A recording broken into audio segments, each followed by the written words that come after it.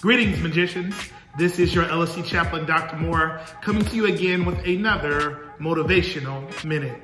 Happy Valentine's Day to each and every one of you. And as we continue in our Building Better Relationships series, I wanted to tell you on today that love is a gift that is meant to be given and received. Yes, love is a gift that's meant to be given and received. As many of us have our different perspectives on love, and as we continue to grow in our understanding of love, there's one foundational thing that we should all know is that love is a gift that's to be given and received. That means for all of us, we should practice not only giving love, but also we should practice receiving love in our lives.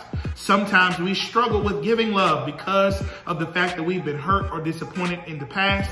And sometimes we struggle with receiving love because love really has been treated as if it has been something to, that's been used to manipulate us or to try to coerce us into doing something outside of our comfort zone. And so I challenge all of us today as we celebrate this day of love to continue to practice and perfect our methods of giving and receiving love. This has been another motivational minute.